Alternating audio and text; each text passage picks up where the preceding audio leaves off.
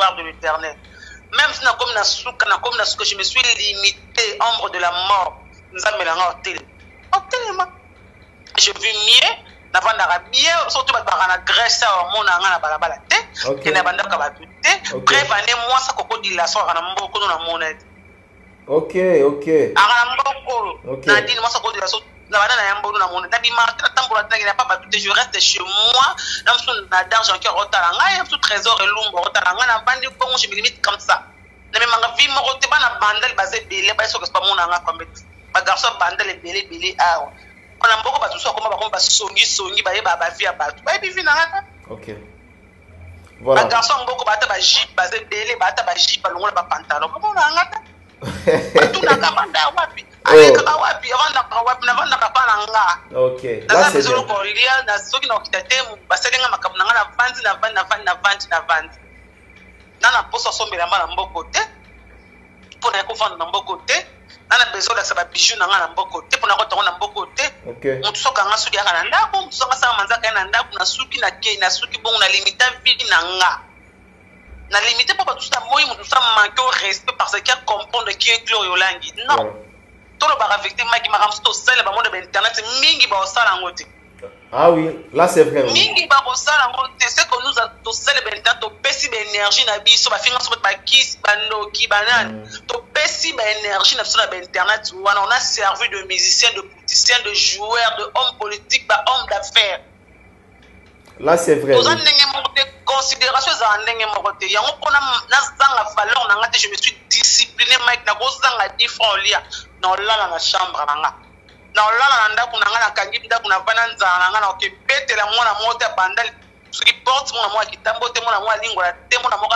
ya, ya ngaba te, mwana moko pona boyi moko ya respect. Respect ezalaka te ke kozala millionnaire, même tu es pauvre, discipline toi pomme tapesa au respect. Parce que tellement nga linga respect na linga mtango manke nga.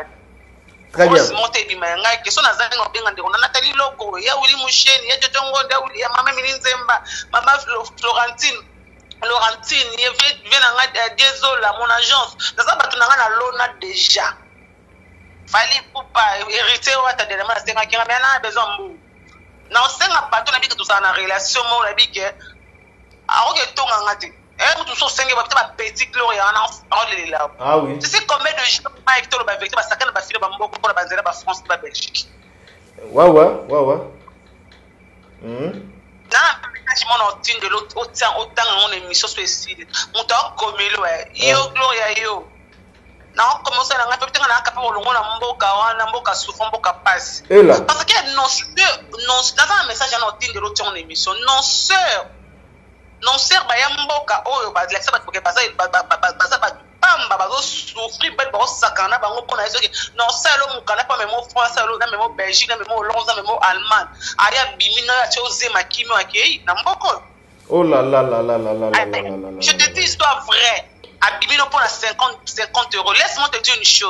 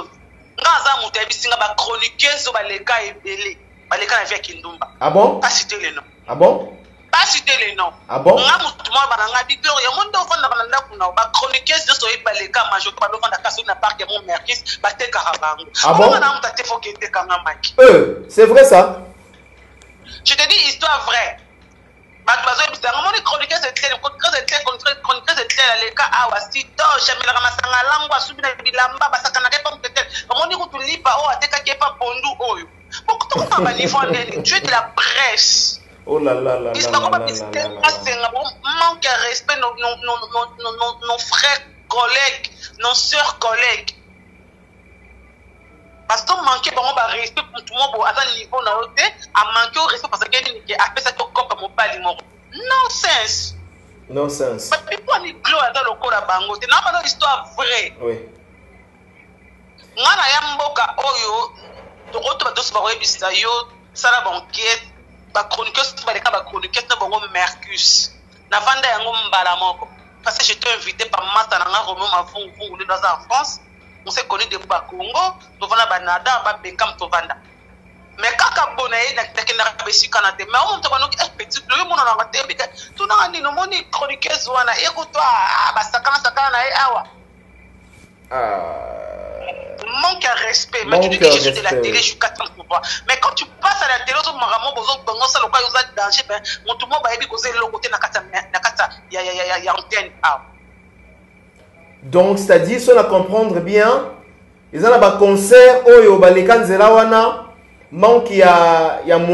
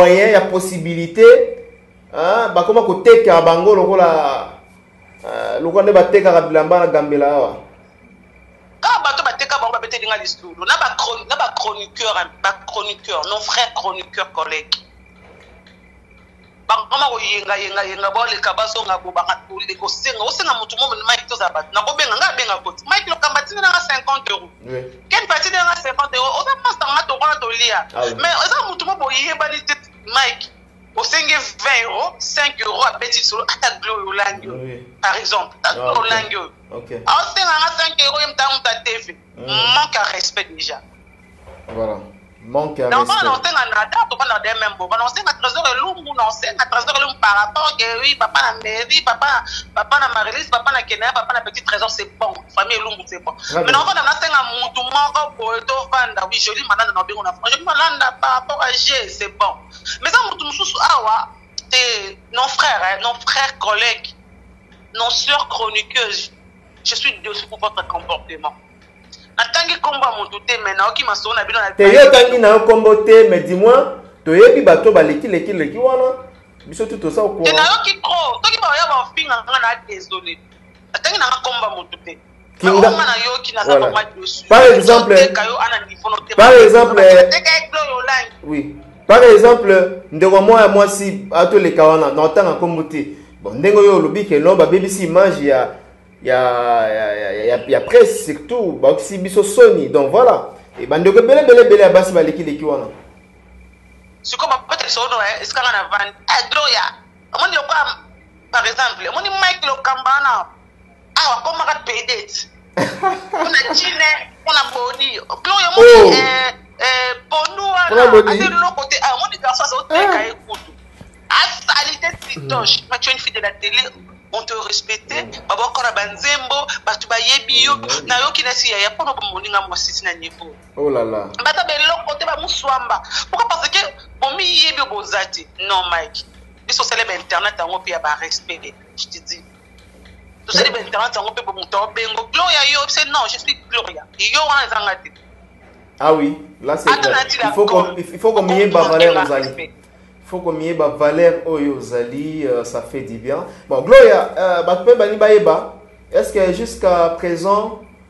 Euh, ozoza soutien quand même ya ba artiste musicien oyo oh, mpe euh, gloria abundi ebele mpo na bango ah, euh, bafali pupa Ah, bien qu'à un moment donné, oui, moi, guerre froide, ils allaient qui n'a hérité Watanabe. Est-ce que nous avons soutien à Bande Voilà, fallait hériter.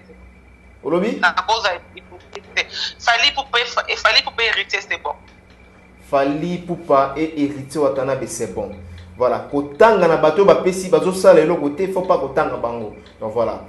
Bon niveau na Parce que tu sais vraiment la vérité, tu pouvais pas marcher mais mon akoum ça va tout le monde habite dans le Non.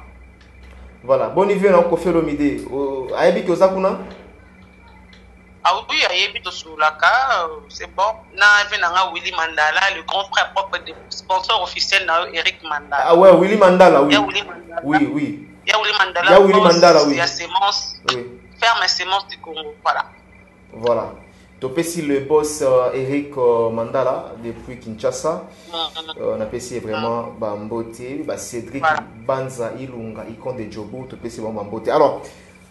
Gloria Olangi, euh, boni musique ya Congo na biso kuna ezo marcher kuna pe musique na biso ezokana musique congolaise.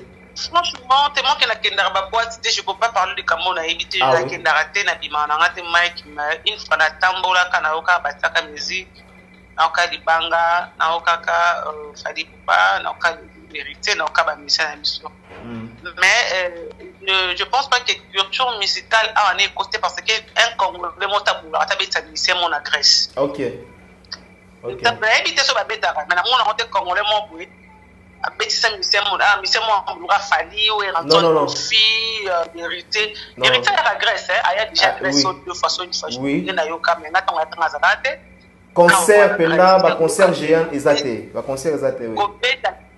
Eh, concert eza te toni ezalaka culture musicale awa hmm. na grèce ya république démocratique du congo désolé voilà euh, nayebi ke oza kuna bien que oza mpe accro ya internet on peut dire aujourd'hui que gloria manque ya micro ezozanga yo manque ya mosala ah, parce que tout le temps gloria ya kinshasa toyebaki ozalaki vraiment fi oyo Hein? Parmi ba, ba, ba filles tout bazalaki, ozalaki le numéro 1, le number 1.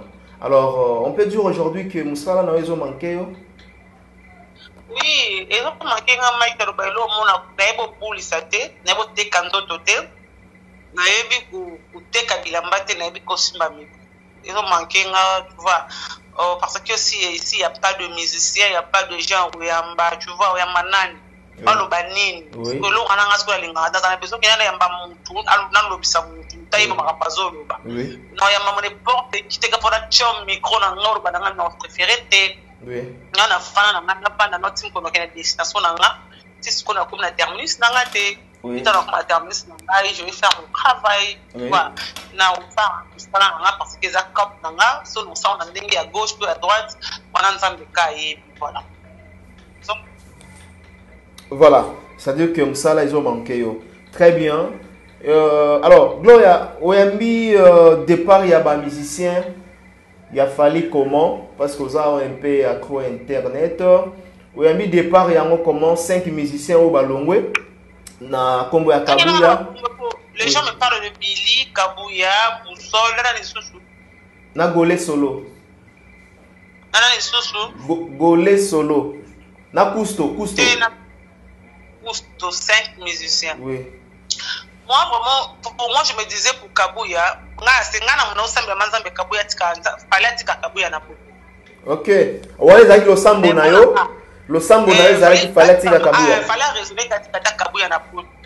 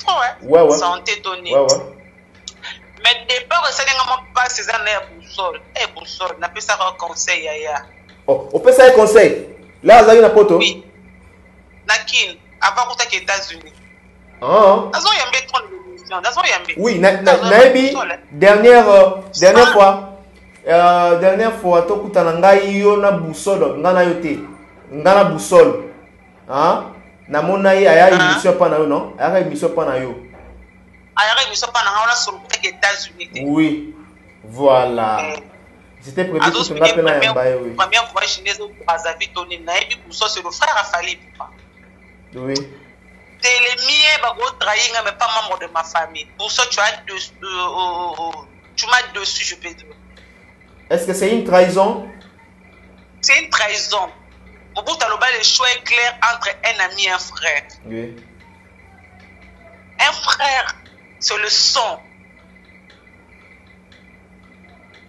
loba soki basolani na nde nayoki so rimer gace soki mwasi zemi azozela mokanda eh, mwasi na zemi so ya si mwa eh, akozela mokanda yango atikali busol busol si tu as bien tu avais parlé avec ton frère dis merci mais soki osala yango mpo na mwasi alobi to famille ya mwasi to bato balobi no tu as tape à côté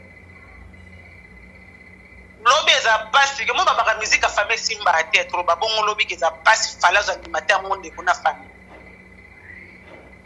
Ndawa Nga kona ndo boule ka mbaza otikala emani otikala bazongi Oh parmi ba ba ba, ba baliste oyo osalaki deja bato oyo baotikala ezalaki ya mbasi na na emani mama nde nayebaki na kalkile babili te mai bili asolola na motu moko nayebi ke otikala okay.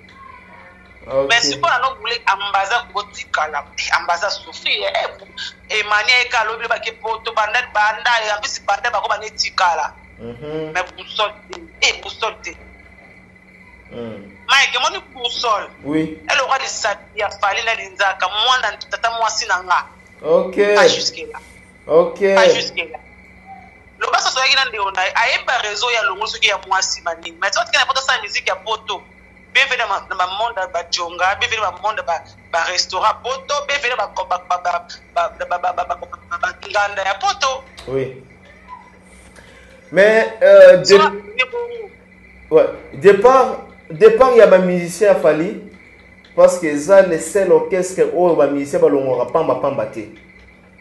epuis bamisia bakimaka pamba pamba na, na poto te ah.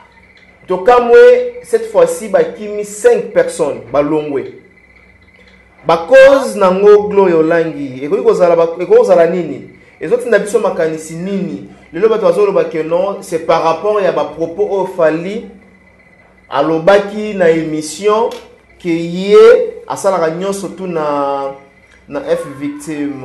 C'est parmi ba lignes de cause oyo esali ba ndeko ba bas- ba se sentir mal à l'aise na kati ya ya orchestre. Ka bango sitaki ba sentir mal à l'aise. Bongo ale alerte kozala na kati ya studio fa asa sentir mal à l'aise atikala ti. Jino liaki ye moko abongisa ba nzembo papa silika tikala. lelo soki bango babenga fali président keto ekamusanga président keto oui. ekamusanga oui. bilisa te toyebaki ye wapi bilisa te toyebaki ye wapi nice victime hein? nga nayamba bili mpo na fali ok okusto soki okusto wana mpo mozala makasi ezali intérêt étranger nayeba epa fali oui.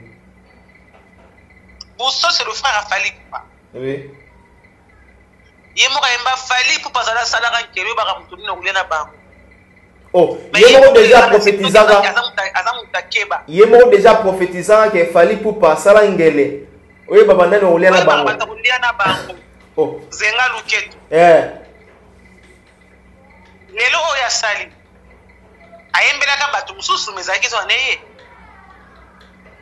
tokobenga yango nini trahison ok si vous avez traité Patrick Ngobi très très, vous avez très très, euh, euh comment s'appelle, oh, Chiba Chiba Balo traité. Bon, il y a ça, Chiba c'est le, le, le, le, le, petit frère de Fali par rapport au grand frère à Chiba Chibou, c'est Azaki camarade à Fali Bachina Benza. Ok. Patrick Ilanga, eh, pardon, Patrick Ngobi. Mm. aza camarade ya fali ya bomwana mm. sikoyo yo cousin ya fali tu as trahi fali mais gloria quand tu dis trahison soki makambo ezosimba te entre frère et frère le choix est clair hein, gloria olangi olobi kaka te ke parce que oza bandekotya mwasi zemi falonga na kongo loko atya ye mwasi zemi mwasi aza soki française ifo alonga na kongo mwasi yango abengisa ye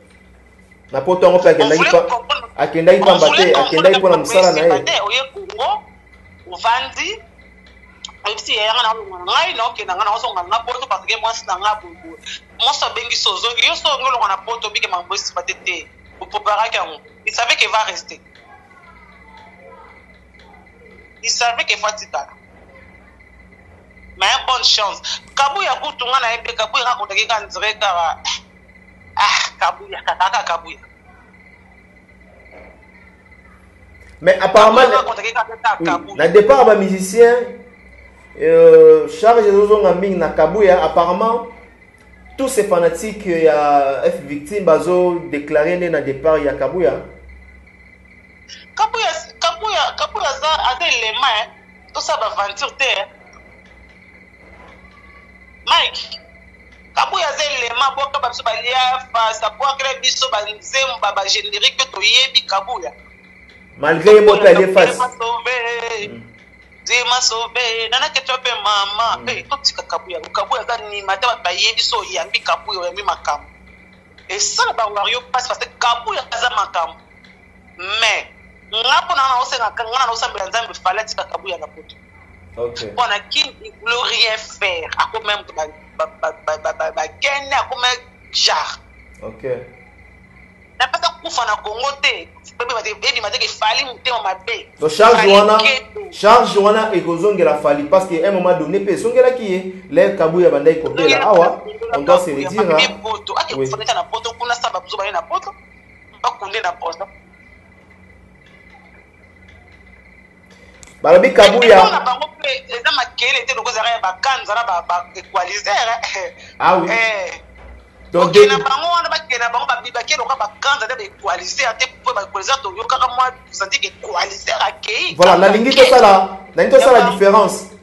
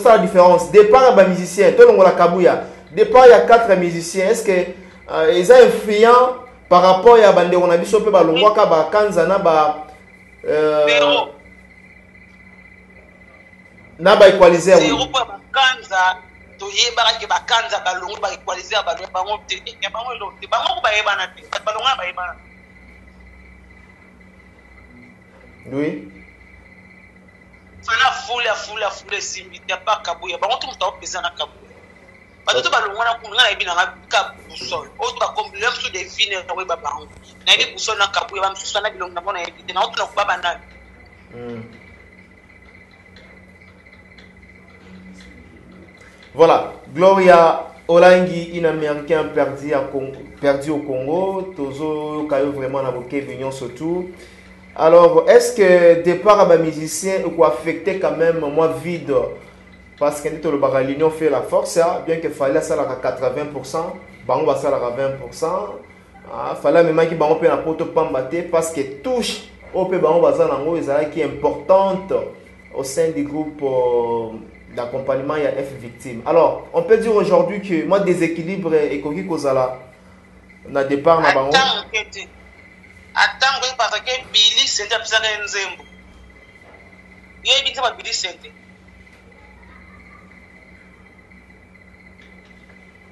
Loka ba ba ba fala za keto, president keto. Bango loka ba longwe na no eh. Toka banze mbosala. Voilà. Totala bango. Totala bango. Totala bango. Voilà. Gloria Langi otalaki ba image oyo Ba ndeko ya F victime bayaki na Kinshasa après 6 mois d'absence na mboka. Comment, ouais. comment est-ce que okoki ko réagir plein à craquer engouement oyo esalamaki na kati aéroport international de njil tomonaki euh, bafane ya Bonjour fidèle internaute de www.elengiakomba TV. Bonjour, bonsoir, balandi nyonso ya elengi ya komba. Hein? Congolaise TV. Porte belé belé belé partout dans le monde, partout où vous êtes, partout où Zolanda, Elengi ya Combat TV vraiment. Bonjour, bonsoir na ba abonné ba fan nyonso ya Elengi ya Combat Congolais TV. Bonjour à mon boss, on a la pesa vraiment un panzi. Bonjour à mon boss, Chipekiama.